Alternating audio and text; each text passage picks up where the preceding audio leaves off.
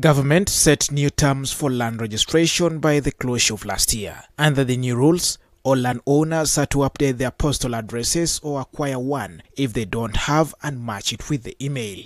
The Chief Executive Officer of Posta Uganda, James Arinaitwe, has today reminded landowners about this directive. He urges that it is the only way which will help guard their land against fraudsters. All landowners now to be sure about the address on their certificates of title so that if anyone is going to serve you before taking action on your land, you, the landowner, get the information first before even your lawyer or your agent.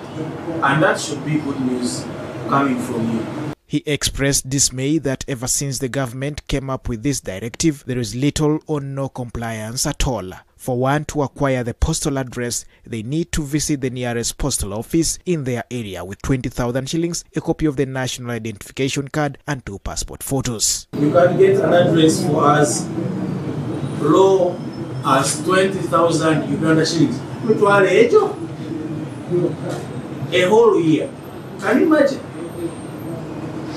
And the maximum you can pay again for a whole year is 120,000. The, the rates vary uh, because some may want, for example, physical boxes.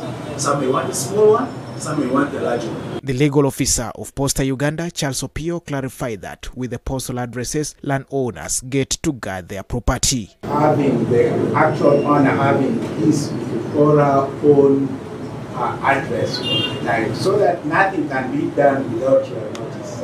So if it is done, it means it is of no consequence or it should be reversed.